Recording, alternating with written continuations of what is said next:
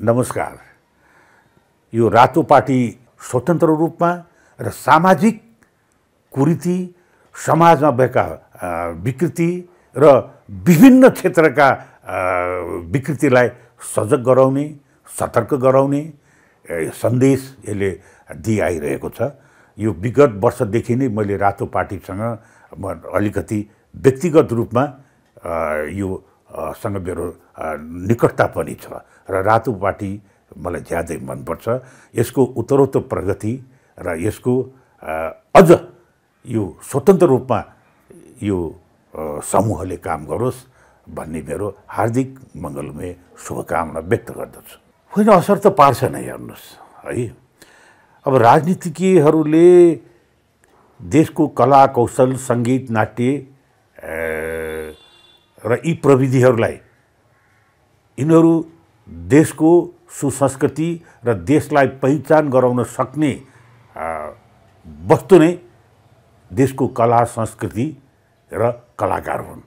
यिनीहरूलाई सम्वर्धन यिनीहरूलाई आवश्यक संरक्षण गर्ने राज्यको एउटा अभिभारा हो। राज्यले यिनीहरूलाई स्वतन्त्र रूपमा छोडिदिनुपर्छ कलाकारहरूलाई।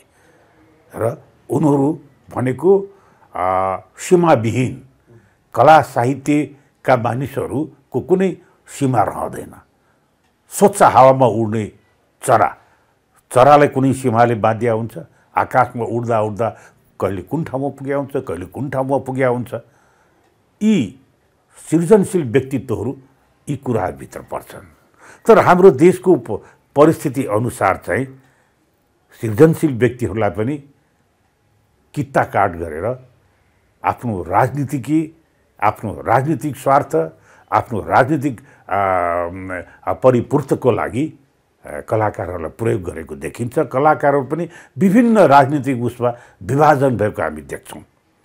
है तर यो हुनु राम्रो कुरो होइन यिनीहरूलाई निष्पक्ष स्वतन्त्र छोडिदिनुपर्छ कलाकारहरूलाई। आफ्नो सृजना उनीहरूले प्रस्तुति गर्न सृजनशील व्यक्तिहरूलाई राजनीतिज्ञहरूको अब यिनीहरूलाई स्वतन्त्र रूपमा अब हाम्रो देशमा छ नि सङ्गीत नाट्य प्रज्ञा प्रतिष्ठान छ होइन?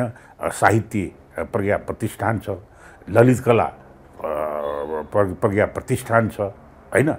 तर यिनीहरू सही स्वतन्त्र कलाकारले त्यो ठाउँमा अवसर पाएका हामीले देखेका छैनौँ। र आफ्नो राजनीतिक क्षमा आफ्नो राजनीतिक प्रचार प्रसारमा आफ्नो राजनीतिक व्यक्तिहरूलाई मात्रै त्यो ठाउँमा राखिने परम्परा र चलन त्यस्तो देखिहाल्यो त्यो त्यो राम्रो कुरो होइन। त्यस कारण परिपूरक भनेको दुइटाको परिपूरक हुनुपर्छ। मैले भने नि कतिपय राजनीतिज्ञहरूले सही कुराहरूमा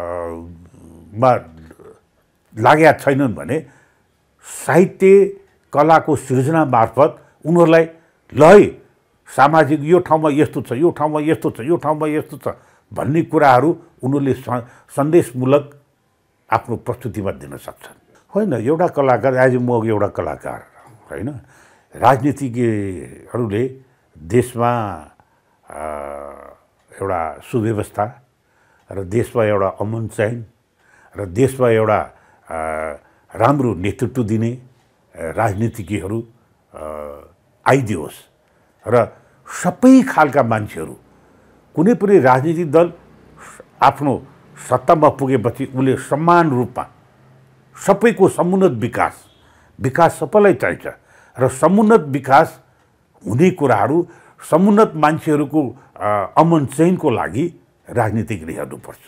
ताकि राजनीतिज्ञ आफ्नो ठाउँमा पुगे सत्तामा पुगेपछि यो हाम्रो विरोधी यो हाम्रो राजनीतिक क्षमाको होइन यो अरू राजनीतिक दलका मान्छे भनेर हरेक ठाउँमा त्यसरी विभाजन गर्न थाल्यो भने समुन्नत देशको हामीले परिकल्पना गरेको देश समुन्नत देश हुन सक्दैन। अहिले तपाईँ हामी देखिरहेछौँ नि।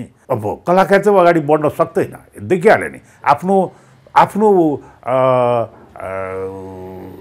क्षमाको आफ्नो जब उनीहरूलाई पनि राजनीतिक दलभित्र उनीहरूलाई पनि समावेश गर्यो भने उनीहरूले आफ्नो राजनीतिज्ञकै फाइदा राजनीतिज्ञहरूको लागि नै आफ्नो पार्टीको लागि नै राम्रो हुने कुरा नै उनीहरूले सोध्छन्।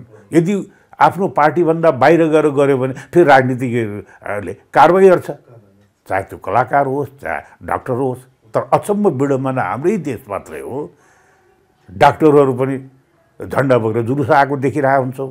राजनीतिक क्षेत्र नै अलि अस्थिरता त छ भने होइन? अब यो क्षेत्र त मात्रै अछुतो त रहँदैन होइन?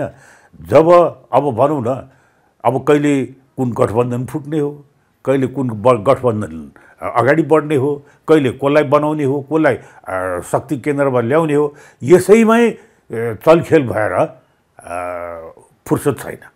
भने अब आम जनता आम सृजनशील मानिसहरूको सोचमा त सोच्दैन होइन?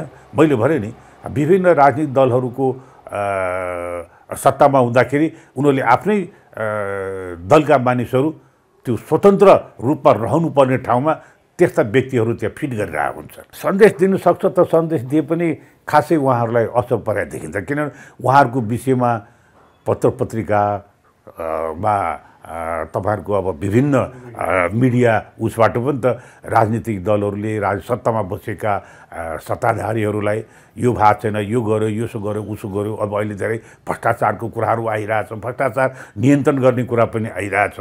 अब नियन्त्रण नारा एकातिर छ भ्रष्टाचार गर्नु हुँदैन भन्ने पनि छ तर भ्रष्टाचारको संस्थागत रूपमा मौलाइरहेछ भइरहेछ आम जनताले दुःख पाइ नै रहेछन् भने जहाँ पहुँच पुग्छ त्यसले उसको लागि राम राज्य नै छ। पहुँच नपुगे मान्छेहरूलाई नियम कानुन यिनीहरू पनि लागिरहेको हुन्छ। पहल त गरिरहेछ पहल त गरिरहेको जस्तै मिडियाले गरे जस्तै कलाकारी क्षेत्र सृजनशील मान्छे पनि चुप्लाएर त बसेका छैनन् नि उनीहरू पनि लागिरहेछ। तर त्यसलाई धारण गर्ने व्यक्तिहरूले ए हो भनेर तिनीहरूले त्यतातिर लाग्नु पऱ्यो नि त्यतातिर पाइला सार्नु पऱ्यो नि। कलाकारिताभित्र असाध्यै राजनीति छ। को सत्ता पक्ष नजिक कलाकारहरू छन् तिनीहरूबाटै सुरु गर्छन् हेर्नु गर्ने। हाम्रै कलाकारी क्षेत्रमा पनि राजनीति गर्नेहरू छन्। कलाकारिताको वर्तमान अवस्था जस्तै भनौँ न अब नाट्य क्षेत्रमै भनौँ है विभिन्न सरकारको राज्यको सुविधाबाट नाट्य संस्थाहरू छन् नि रङ्गमञ्चहरू छन्। होइन? त्यो रङ्गमञ्चहरू सही ठाउँमा त्यो प्रयोग भइरहेको छैन। सही बेलामा आम जनताले त्यो उपभोग गर्न पाएको छैन। हुनु त अहिले व्यक्ति व्यक्ति हिसाबले एउटा नाट्य समूहले आफ्नो बर्कत आफआफ्नो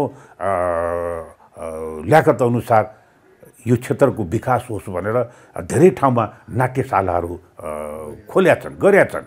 उनीहरूलाई सरकारले राज्यले प्रमोट गर्नलाई राज्यले उनीहरूलाई उत्साहित गराउनलाई केही सहयोग त गर्नुपर्ने हो नि? छैन। अब त्यसमा पनि पहुँच पुगेको छ भने त्यसले चाहिँ पाइरहेछ फेरि अन्त।